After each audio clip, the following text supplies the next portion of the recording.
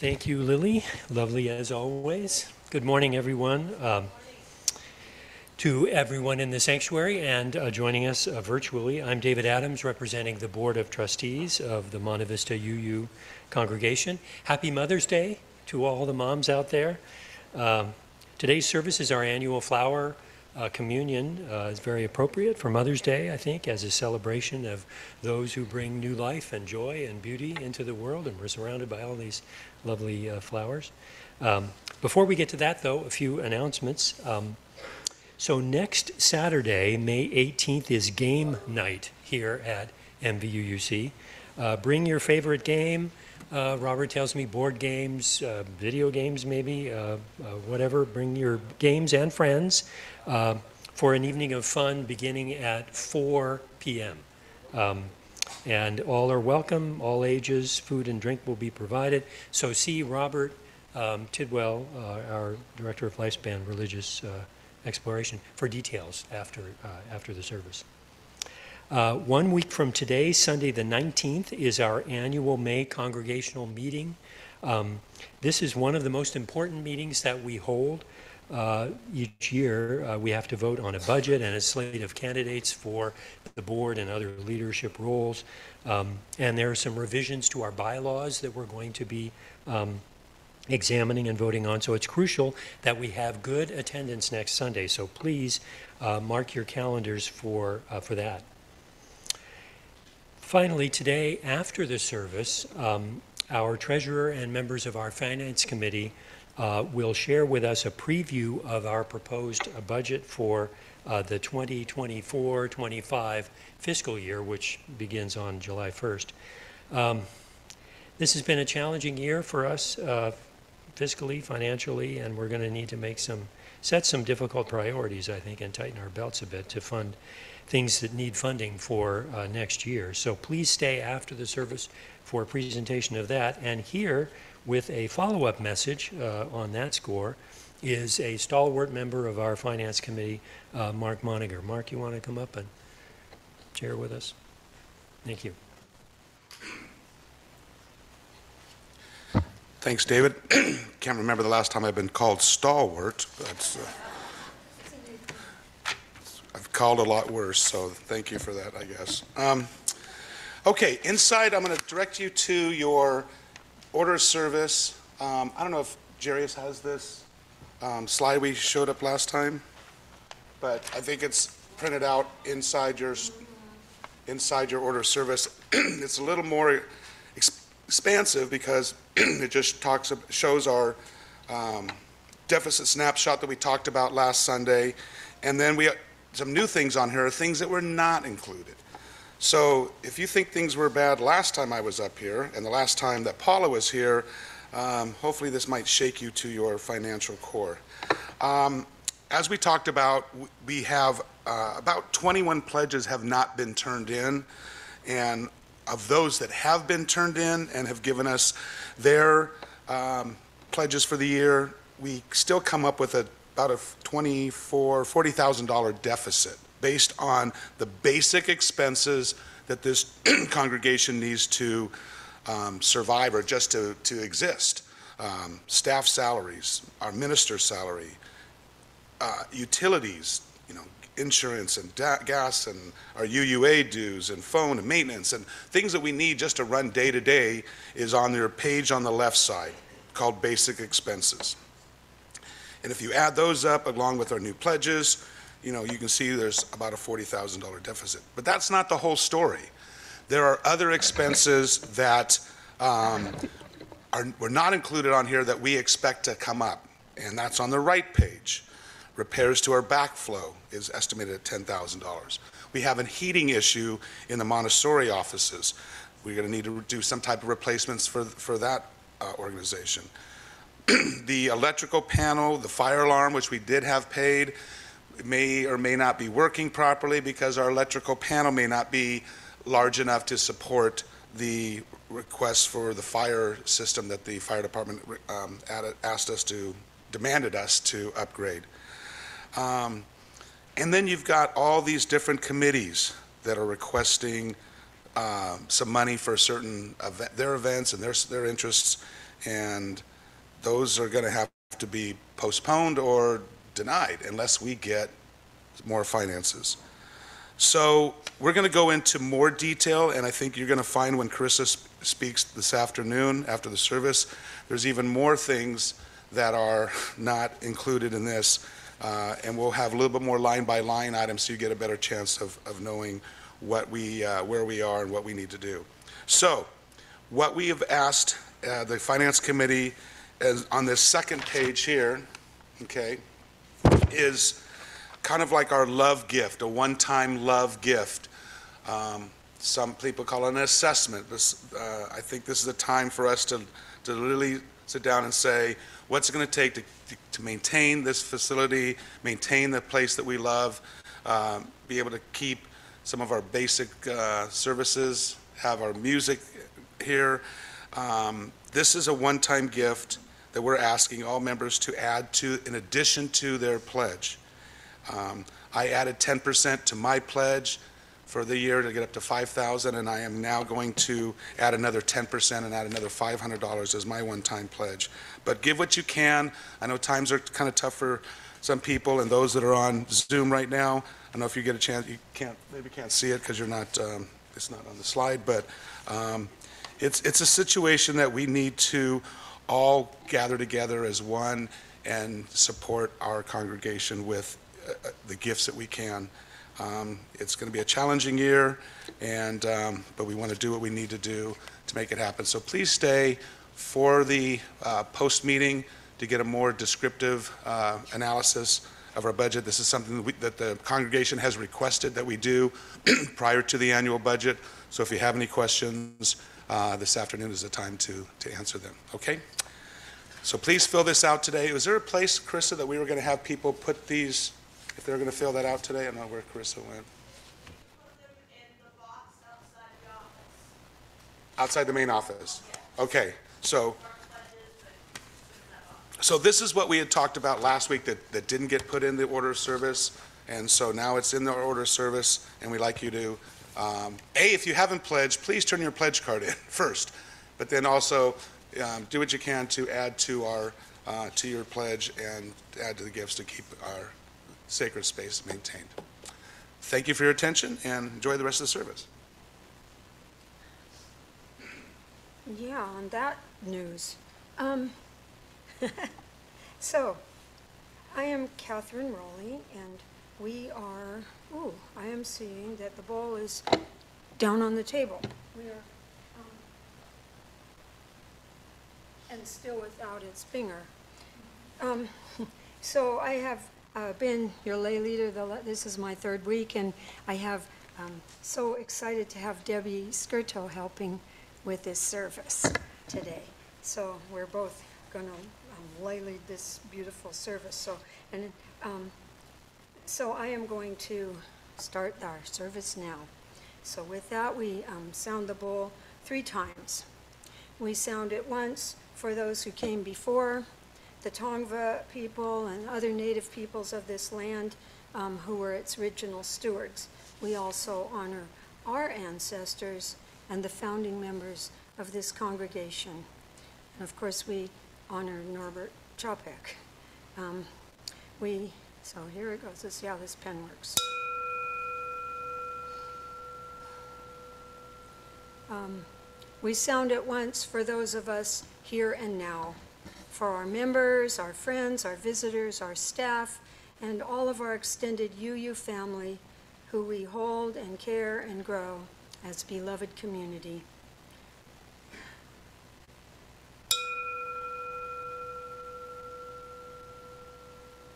We sound it once for the future, future of this place, and for all those who will eventually come to find belonging here um, and call MVUC their spiritual home in the days ahead.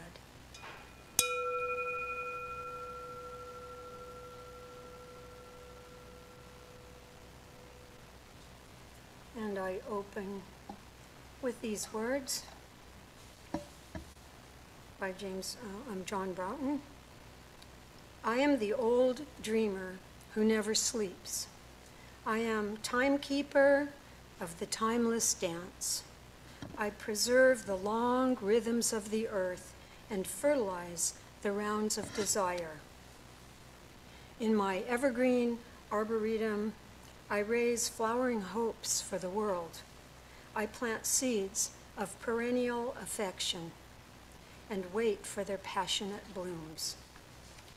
Would you welcome that sight if you saw it? Revalue the view you have lost?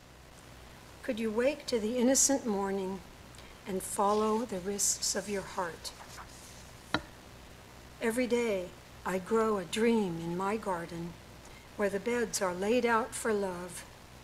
When will you come embrace it and join in the joy of the dance? And I call it. Good morning, everybody. It's great to see you on this beautiful, beautiful day, and happy Mother's Day to all the moms and to all the people that were born from moms. And it's just, it's a, it's a great day to celebrate. Um, I would like to call one, a couple of our new members up to light our chalice today. And so I'm asking Lynn Maria and Marie Smith to come forward and light our chalice. We thought this was appropriate because Lynn Maria is our resident florist who's done so many of the beautiful arrangements you've seen here. So welcome also to our Zoom family.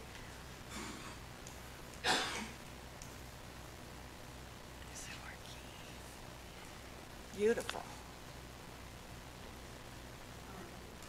Perfect. We light this chalice today. The symbol of our shared faith is Unitarian Universalists and a symbol of the flame that burns individually in the depths of each of our hearts. Also, we light it in gratitude for Norbert Fabian Čapek and in celebration of his legacies which continue to enrich and deepen our faith. Would you now stand as willing and able to say our covenant? We will also spe- uh, sing Spirit of Life following that and sing the children out. So if you're able to rise.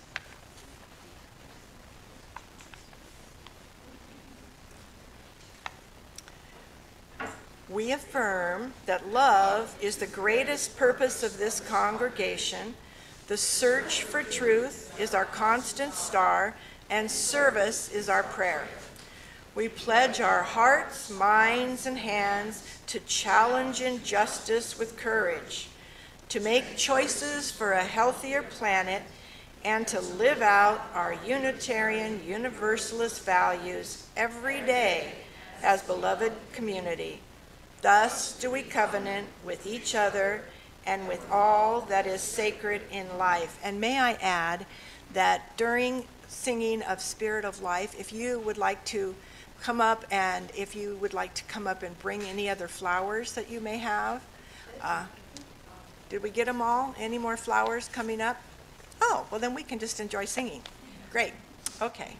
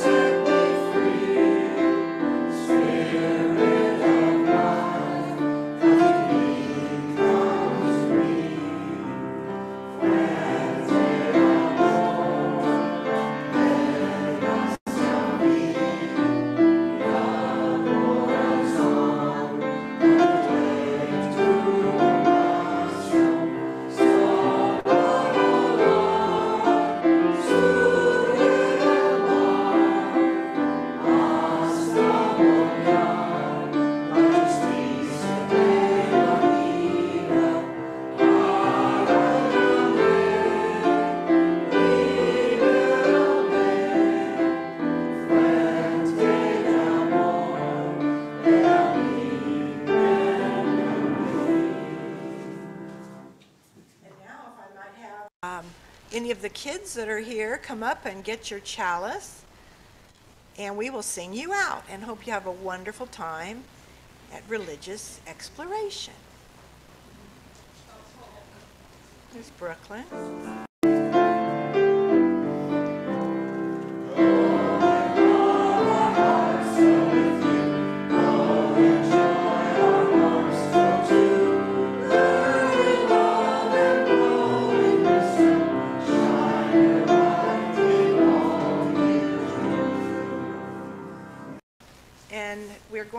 Ahead and have our offering now. We have some special music, and um, Jill Regel is going to come up and sing for us. And, um, you know, our generosity supports and sustains this beloved congregation, and our chosen community organizations also. Our Share the Plate offering in May is the Foothill Family Shelter, and a representative is coming next Sunday to give us a little more information about that shelter. So Jill and Lily. Good morning, everybody. I I dedicate this song to all the mothers and all the other mothers who've helped raise our children. This is Love in a Home.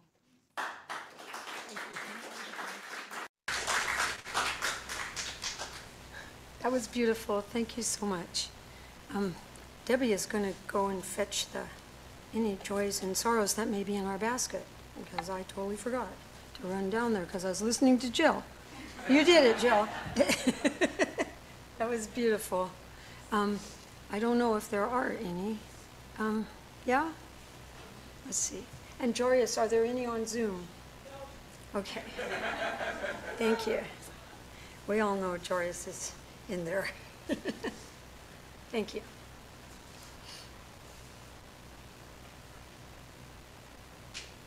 Mm, mm. Okay, this is, um, well, this is from Letha and, and Ellen from Letha. Well, and welcome back from your travels. They're, they're going down to the, but, um, they've been traveling, but she said, um, Letha's in our hearts, um, it's appropriate on Mother's Day. And, um, I know there are many, many things we hold in our hearts that are unspoken. So let us um, take a few moments to hold the, um, the concern and joy that was expressed today. Um, let us just take a few moments to um, connect with our deepest selves. So close your eyes, if you so choose, as Unitarians. Um, take a slow, deep breath in. And hold it for a few seconds and release it, it out, breathing slowly. Continue taking a slow breath in, holding it, and releasing it slowly. And as you breathe in and out, in and out, feel your body relax. Allow it to relax.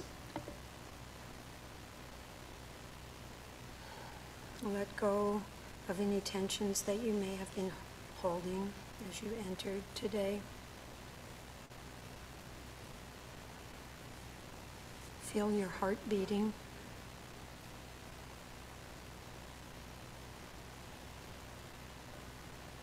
Feel a stillness and a peace come into your body.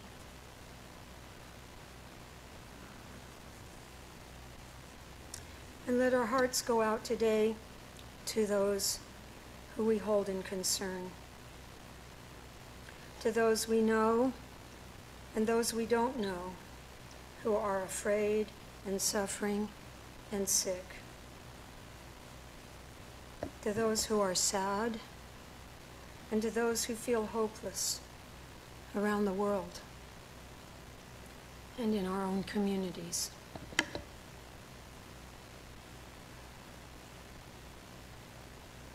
Let us um, take a few moments to hold mothers in our hearts.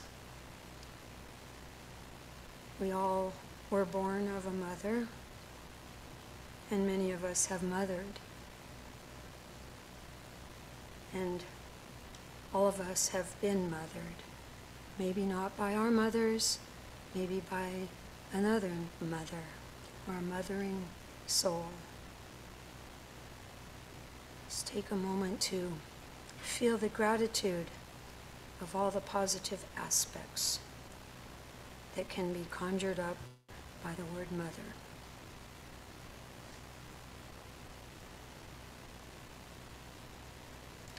And for all who have birthed, take a moment to especially honor yourselves and the great work you did in your body, nurturing a child.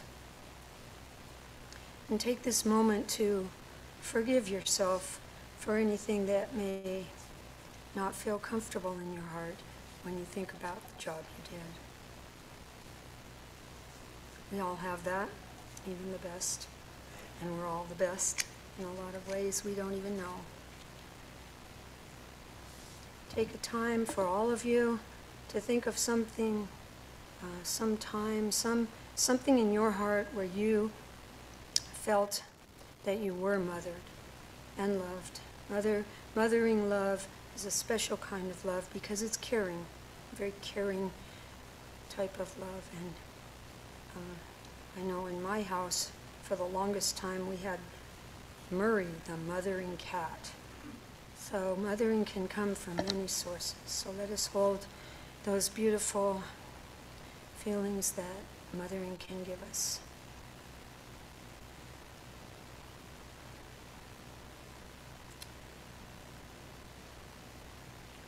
So, happy Mother's Day. Now let our hearts totally fill further with gratitude and appreciation for all that we have in our own lives, for our homes, the food we eat, the people, the animals, the places we love, our friends, for the beauty of nature, for flowers, for the opportunity to be together this day to celebrate Norbert Čapek, one of our Unitarian heroes, and to participate in our ceremony, the ceremony he created and held in his first church 101 years ago.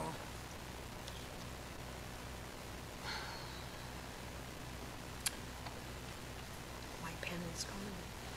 Right there.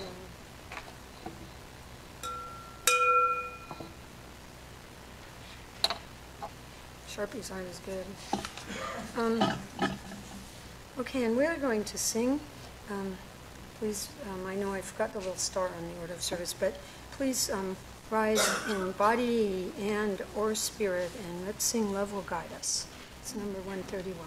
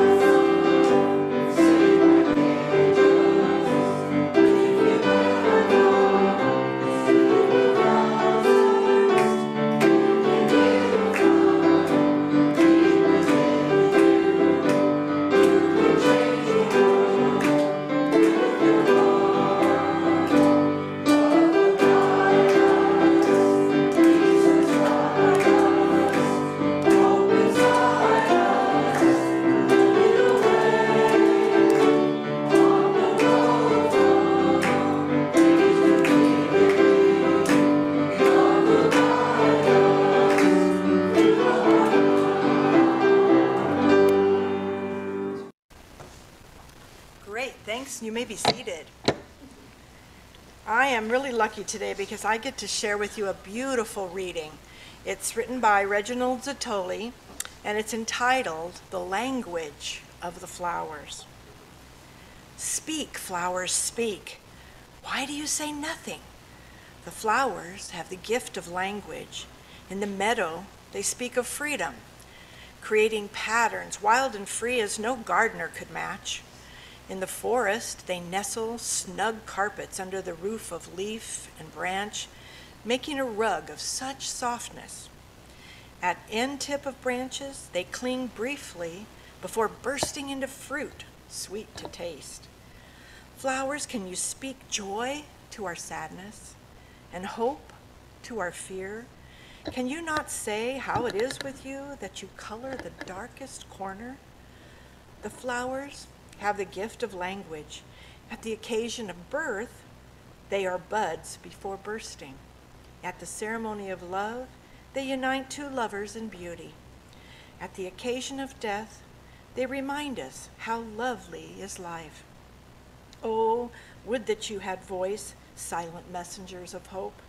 Would that you could tell us how you feel arrayed in such beauty. The flowers have the gift of language in the dark depths of a death camp. They speak the light of life. In the face of cruelty, they speak of courage. In the experience of ugliness, they speak, bespeak the persistence of beauty. Speak, messengers, speak, for we would hear your message. Speak, messengers, speak, for we need to hear what you would say. For the flowers have the gift of language. They transport the human voice on winds of beauty. They lift the melody of song to our ears. They paint through the eye and hand of the artist. Their fragrance binds us to sweet smelling earth. May the blessing of the flowers be upon you. May their beauty beckon to you each morning and their loveliness lure you each day, and their tenderness caress you each night. May their delicate petals make you gentle, and their eyes make you aware. May their stems make you sturdy, and their reaching make you care.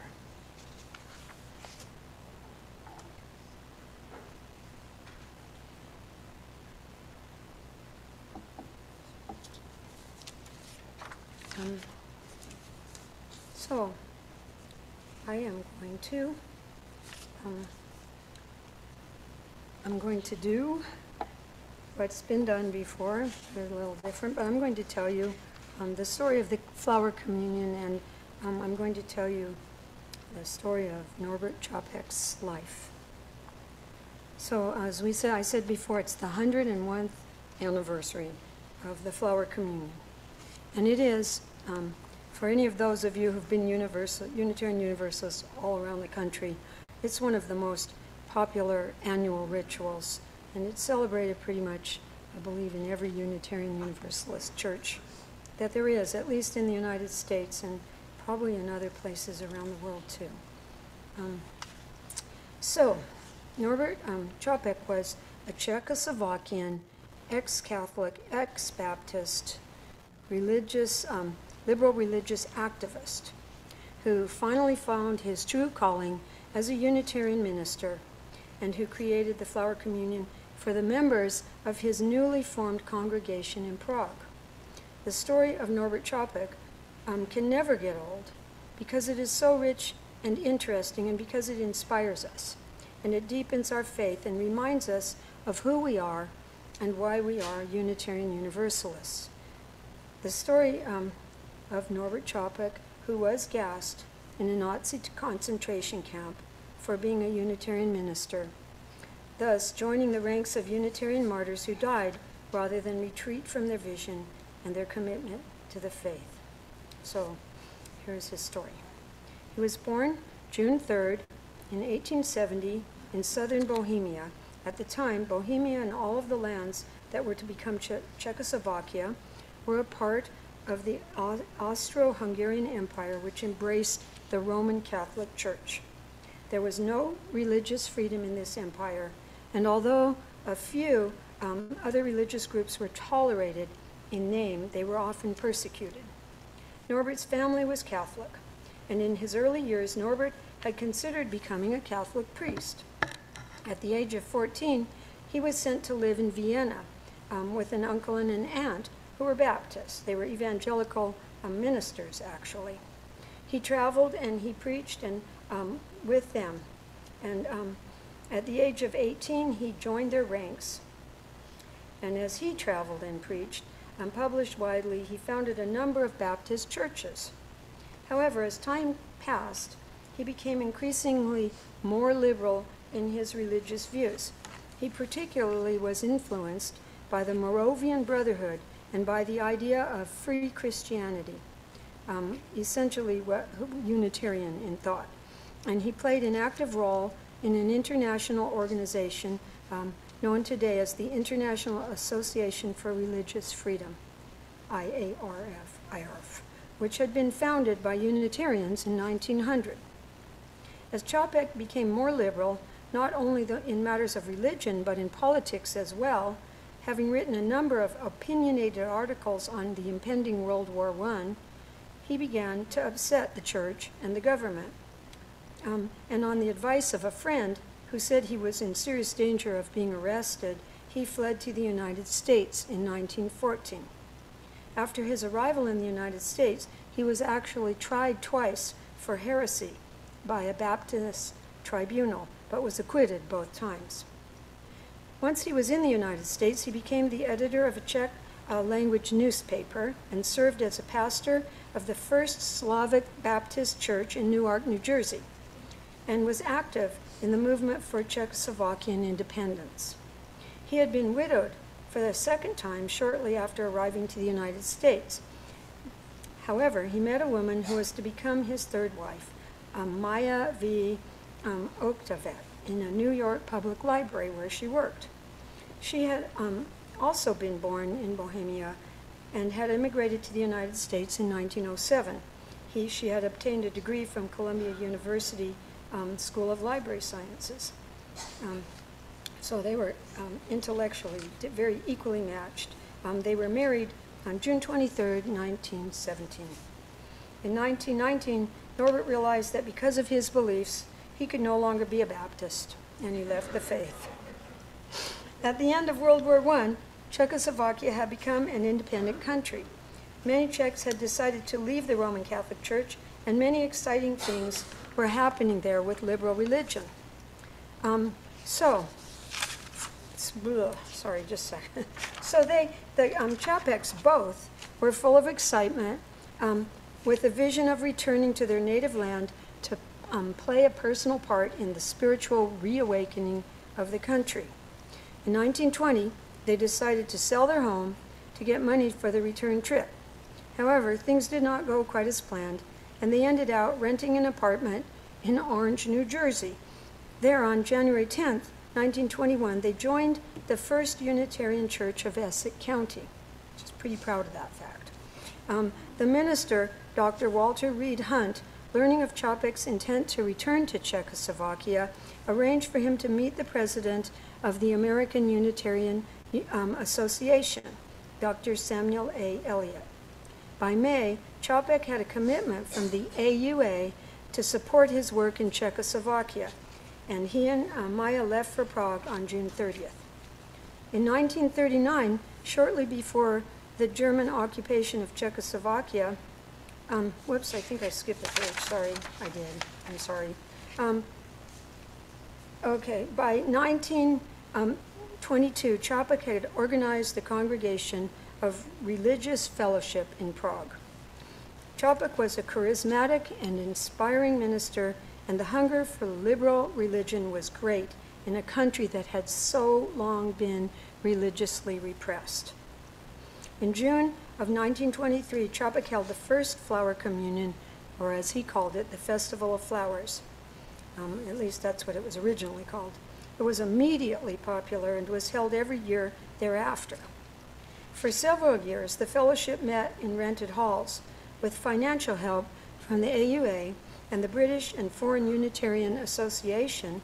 They acquired and renovated a medieval palace, which they dubbed Unitaria.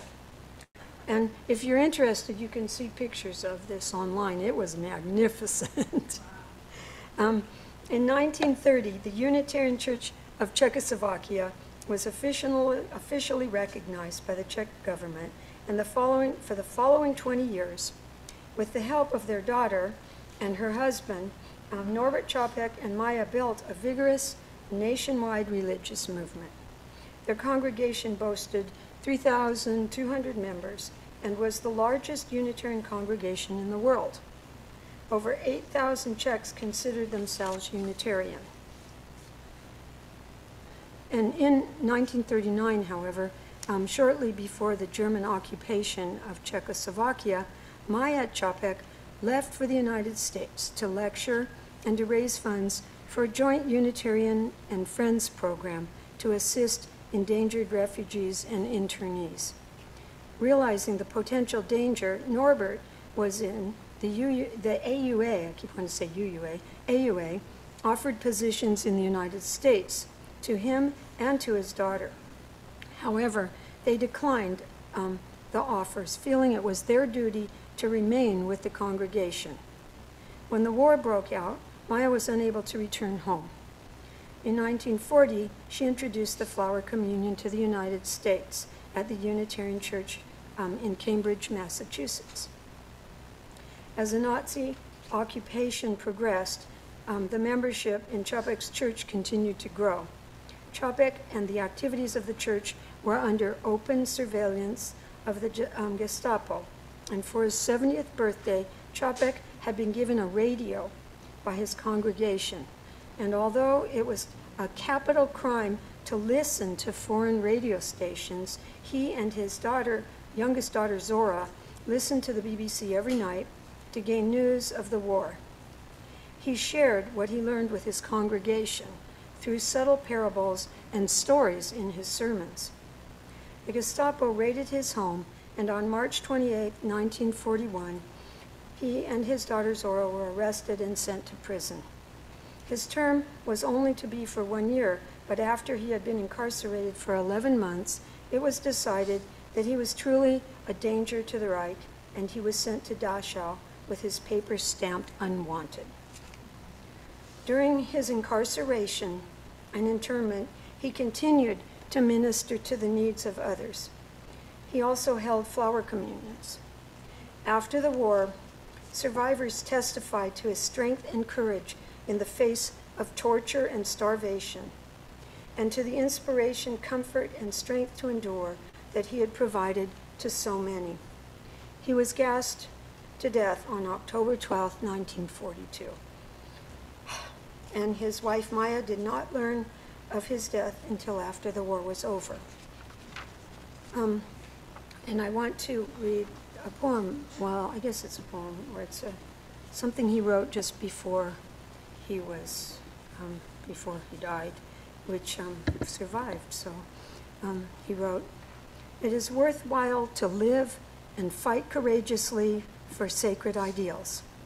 Oh, blow, ye evil winds, into my body's fire. My soul, you'll never unravel. Even though disappointed a thousand times or fallen in the fight, and everything worthless would seem, I have lived amidst eternity. Be grateful, my soul. My life was worth living. He who was pressed from all sides, but remained victorious in spirit, is welcomed into the choir of heroes. He who overcame the fetters, giving wings to his mind, is entering into the golden age of the victorious. So, before we begin our flower communion, I want to share um, what he believed. Um, he, uh, Norbert uh, believed a religion um, he believed in a religion founded, and this will sound so familiar, not on dogmas, but as he put it, on a divine spark which is in each person's own soul. This, he believed, appealed to his congregants, who were mostly spiritual refugees from many different backgrounds Roman Catholics, Jews, Protestants, pagans, etc. Um, they, they tended to dislike religious language and were wary of religious ritual. However, Čapek felt that they needed to have some kind of a spiritual um, ritual to celebrate and honor um, their diverse community and to acknowledge their willing connection to one another. He created it to symbolically bring his congregation together in a way that it would not exclude anyone. Today, we still celebrate the communion in, in much the same way as it was celebrated originally. So we have placed flowers in the vase, and the vase has been brought forward. We'll read a prayer by Norbert um, Čapek, the one he um, read for the flower communion.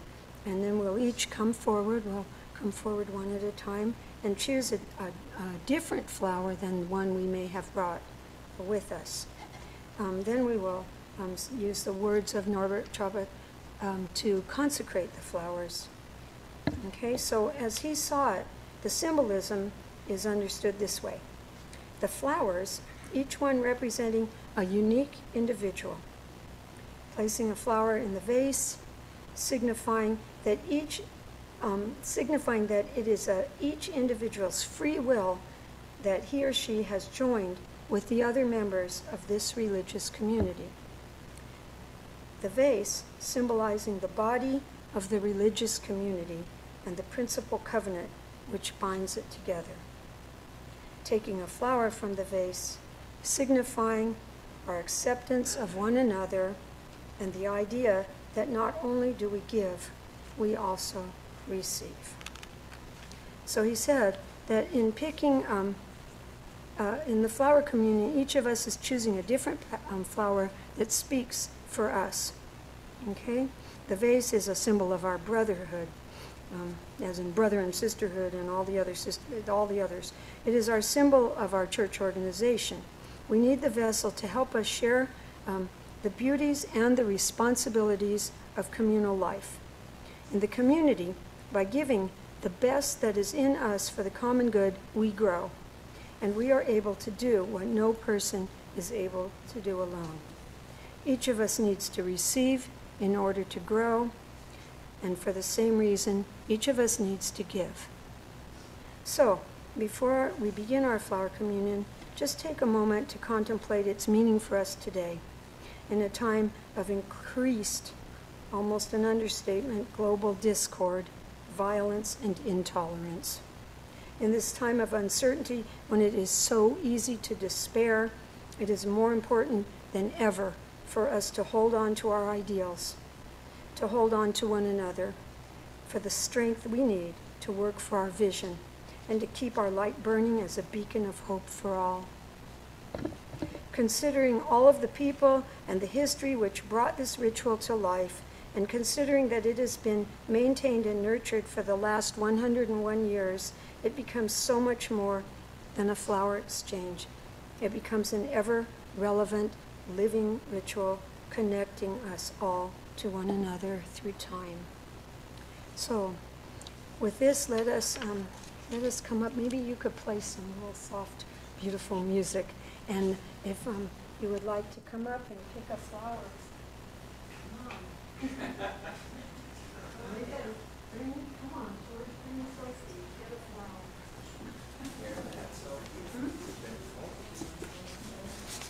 And we also invite our Zoom people to go ahead and virtually pick a flower, okay?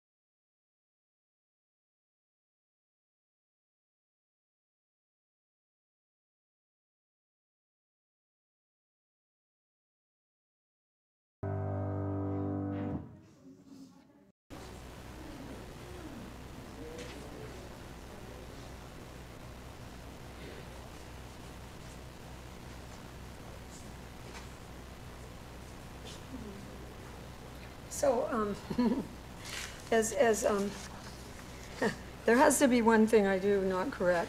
So, um, I didn't say the prayer before we took our flowers, so as you hold your flower, we'll say our prayer, and then we will consecrate them also. Because we wouldn't want his, these words are just too good to let go. Um, and we're still good on time.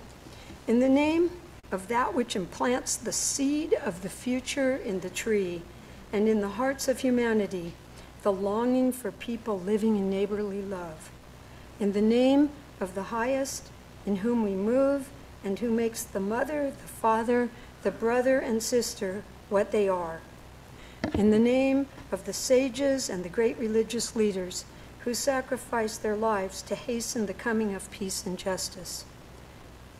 Let us renew our resolution sincerely to be real brothers and sisters, regardless of any kind of barrier which estranges person from person.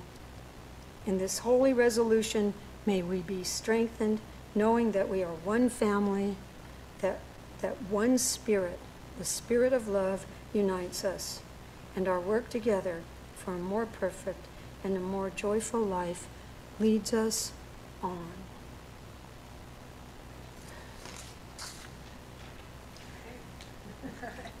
Now we're going to consecrate our beautiful blooms. And this is written by Norbert Čapek. In the spirit of life, let us bless these flowers as messengers of fellowship and love. May they remind us, amid diversities of knowledge and of gifts, to be one in desire and affection and a devotion to justice and the search for truth. May they also remind us of the value of comradeship, of doing and sharing together. May we cherish friendship as one of our most precious gifts. May we not let awareness of another's differences discourage us or sully our relationship, but may we realize that whatever we can do, great or small, the efforts of all of us are needed to secure the place that love, respect, hope, justice should have in this world. And now, if you'd like to stand, we're going to sing our closing song, Guide My Feet.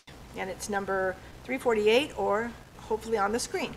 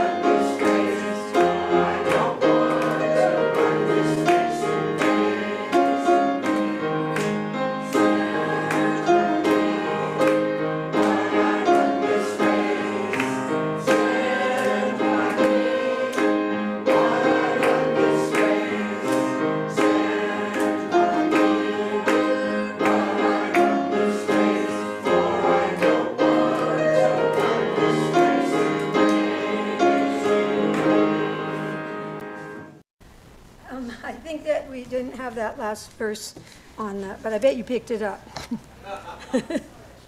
Um, it searched, searched my heart. Okay, um,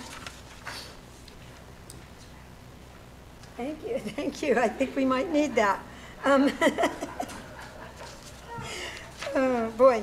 Well, Reverend Maggie will be back next week in the pulpit, and I'm sure she'll be renewed and refreshed and happy to be here. Um, so our closing words, and then um, we'll all remain standing as we say our unison benediction. And um, I, this is one of my favorites, but um, in a world where all is borrowed and time, like elusive dust, just seems to slip through our fingers, all we really have are these precious moments where we can make fertile the soil in the garden of our hearts. That here love may make its home, and here the mortal seed may flourish. Only love can free us from the womb of time. For life, like a magnificent, mysterious cloud, holds its shape and form only long enough for us to blink. and all our precious memories are but shadows of time that will drift away like fallen leaves returning to the emptiness from which they came. Thus, we are, like innocent children, um, flowering in the garden of souls. So, in our, unison benediction. Okay, let's speak together. As we close our time together, And extinguish our chalice flame, may we remember to let love guide us. May we be kind, be brave, be just, be merciful, be hopeful. For when we do, we hold the chalice flame as the guide for our lives and a light for the earth. Have a wonderful day.